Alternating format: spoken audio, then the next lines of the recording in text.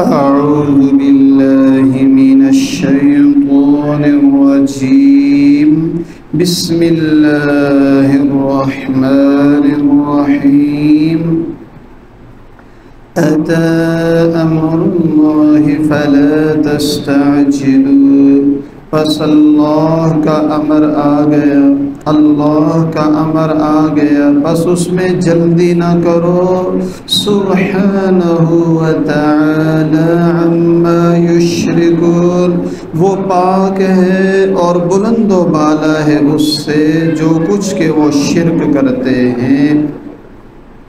ينزل الملائكة بالروح من أمره على من يشاء من عباده۔ اتارتا ہے فرشتوں کو احکام دے کر اپنے حکم سے، جس پر چاہتا ہے اپنے بندوں میں سے۔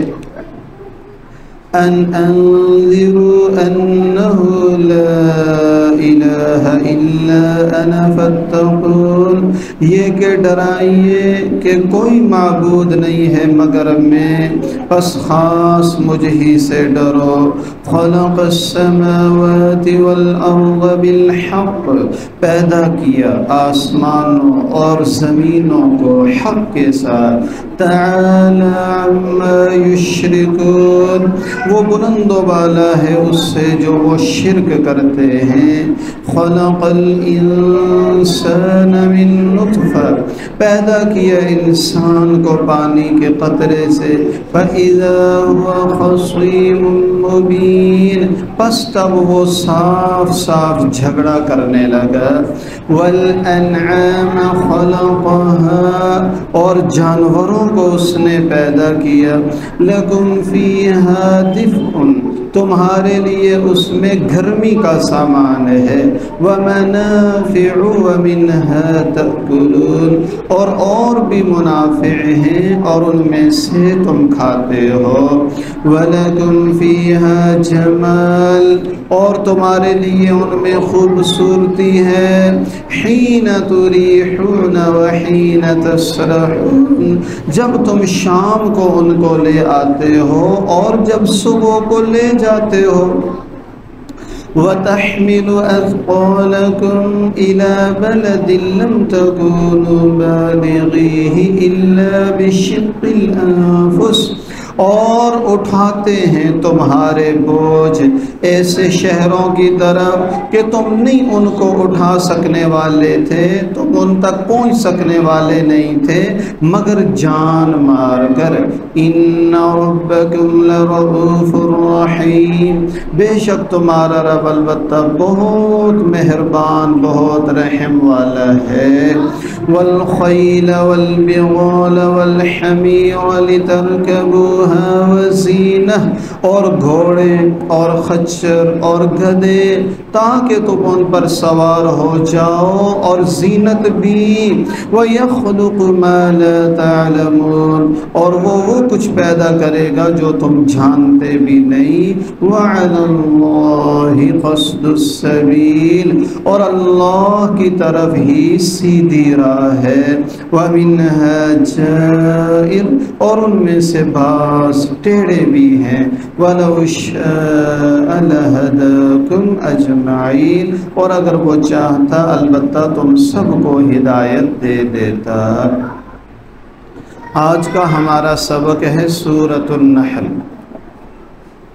سورة النحل۔ آج کا ہمارا سبق ہے اور آیت نمبر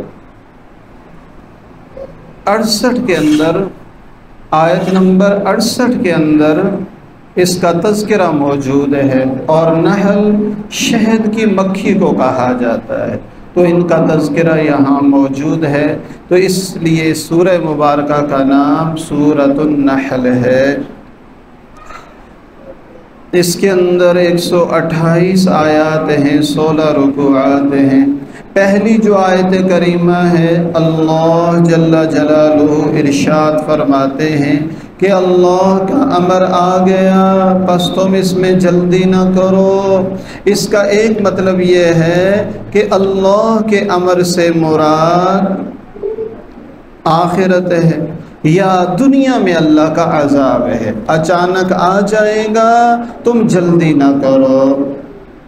اور فرمایا کہ اللہ پاک ہیں اور بلند و بالا ہیں اس سے جو وہ شرک کرتے ہیں۔ من مات فقد قامت قیامت روایت میں ہے، جو مر گیا اس کی قیامت قائم ہو گئی تو حقیقت میں جو قیامت ہولناک مناظر ہیں، قیامت کا وقوع ہے، وہ اگرچہ بعد میں ہوگا، لیکن جو مر گیا یا وہ جنت میں چلا گیا اور یا جہنم کے گڑے میں چلا گیا، تو اس کی قیامت تو قائم ہو گئی۔ تو اللہ کا امر آ پہنچا ہے، یا جیسے بدر میں، عہد میں، خندق، حنین وغیرہ میں ان کے ساتھ ہوا۔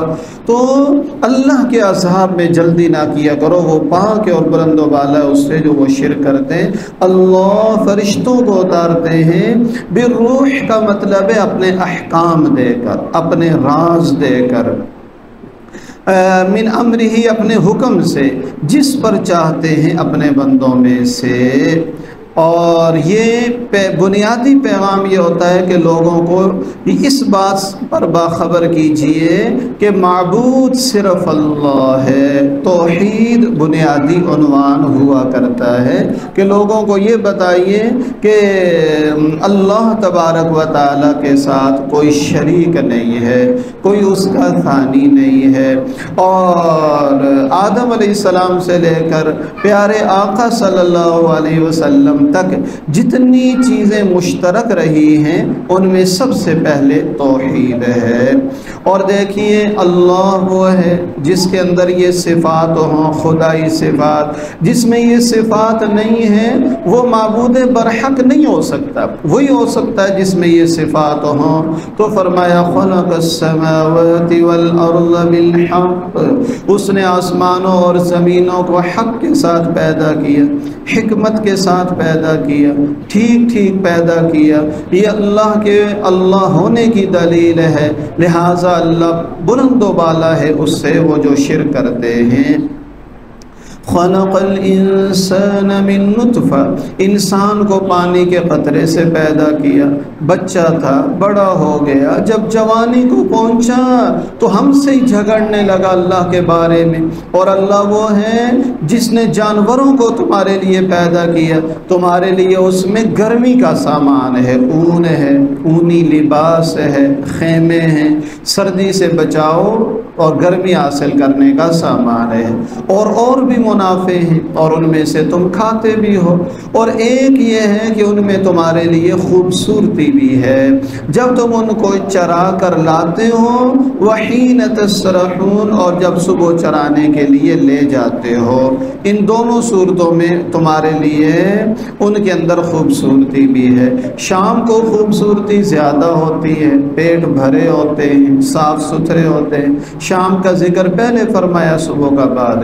اور تمہارے بوجھ اٹھا کر لے جاتے ہیں ان شہروں تک جن تک تم نہیں پہنچ سکتے تھے، مگر جان مار کر، ایسی مشکل راستوں میں دشوار گزار پہاڑیوں پر گھوڑا گدا خچر، یہ سامان لے جاتے ہیں۔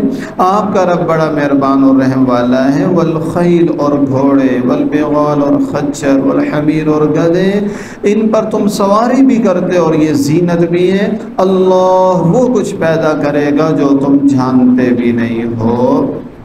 آئندہ کیا سے کیا چیز آئے گی؟ انسان وہم و گمان بھی نہیں کر سکتا۔ آج جو کچھ ہے، پہلے والوں کے وہم و گمان میں نہیں تھا۔ آئندہ جو کچھ ہوگا، انسانوں کو اس کا کوئی علم نہیں ہے۔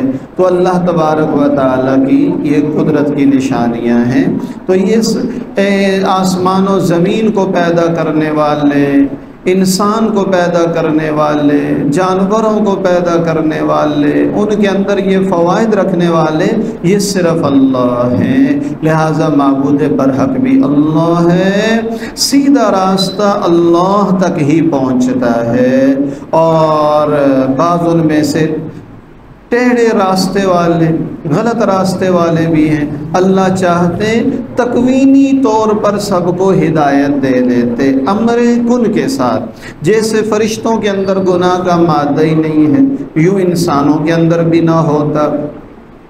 سب کو اللہ تعالیٰ ایک ہی فطرت پر پیدا کر دیتے، لیکن ایسا نہیں ہے۔ اگر اللہ نے عقل دے دی اور شریعت دے دی، پھر کہا کہ اس پہ چلنا ہے اور اس پہ نہیں چلنا۔